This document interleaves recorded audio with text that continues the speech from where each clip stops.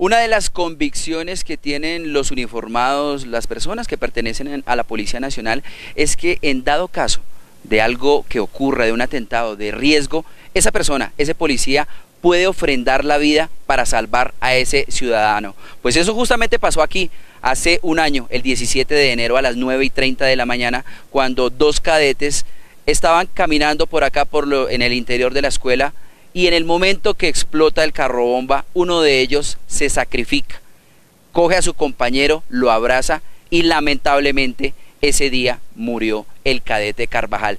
¿Qué dice la persona que sobrevivió? Aquí se los presentamos.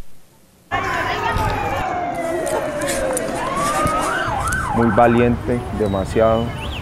Eh, yo creería que él, él, sabía que había venido a esta institución y que había venido a esta vida él, ofrenda la vida por mí. En ese momento yo presencio que es dar la vida por una persona.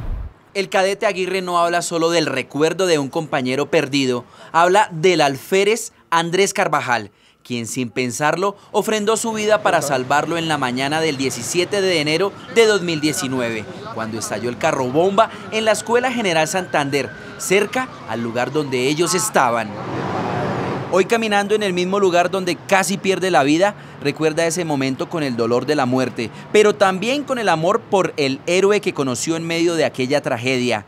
Dice que ese día caminaban hacia el alojamiento para prepararse para participar de una ceremonia de honores cuando sintieron la explosión.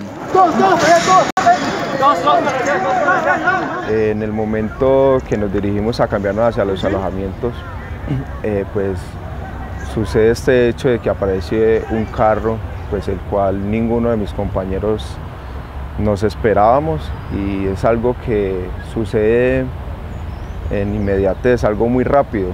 Aguirre solo recuerda que iban hablando con su compañero y en cuestión de segundos sintió como su amigo se abalanzó sobre él y lo abrazó.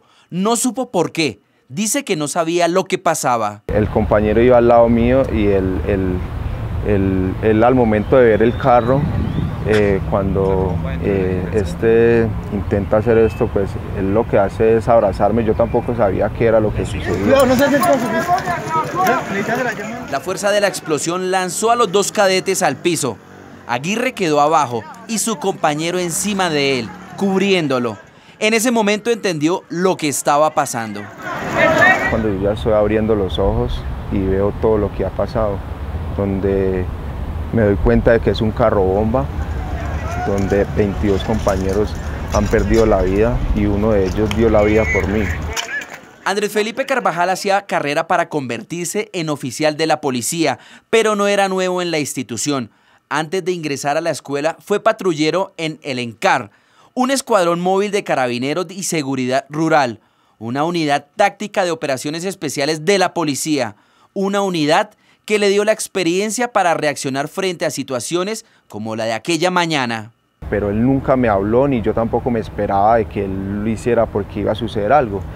Él, él me agarra duro, fuerte y cuando ya es que yo ya estoy abriendo los ojos y ya nos están auxiliando. El único compañero que yo pude presenciar fue el compañero Andrés Carvajal. Él fue el único que yo pude presenciar y pues a él lo auxilian y lo sacan inmediatamente y a los segundos también hacen eso conmigo. Hoy el alférez Hernán Aguirre recuerda que su Salvador les contaba a él y sus otros compañeros aquellos días en el escuadrón de carabineros. Irónicamente, esta era una de sus frases. Él dijo, si no me pasó nada allá, donde todos los días tenía que ver bombas, tenía que ver minas, aquí en esta escuela no me pasa nada. Pero la violencia lo alcanzó murió protegiendo a su compañero quien sin embargo sufrió varias lesiones. Lo que fue pérdida de audición, lo que fue una esquirla en mi mano, el cual pues interfirió, hicieron cirugías, hicieron lo, adecuado, también tuve esquirlas y quemaduras en, la parte inferior, en, en las piernas. Este joven cadete oriundo de Cartago Valle desearía hoy estrechar la mano de su amigo y decirle todo lo que piensa de él. Bueno, yo le diría infinitas gracias.